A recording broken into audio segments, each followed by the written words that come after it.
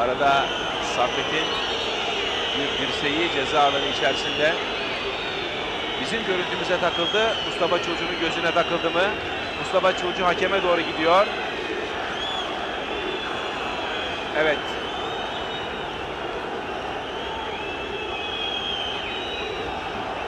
Saffet görüntüde. Şimdi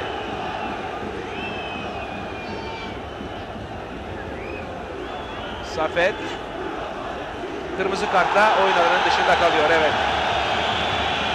Hakem yan hakemden almış olduğu bizim görüntümüze açık bir şekilde takılmıştı. O arada kalktı Osman da. Saffet'in hakeme itirazı. Gerek yok. Oyun alanının dışına yürümesi lazım. Yan hakemin etrafında Galatasaraylı oyuncular. Bir kere daha görebilir miyiz o pozisyonu yönetmen? Evet pozisyon görüntüde.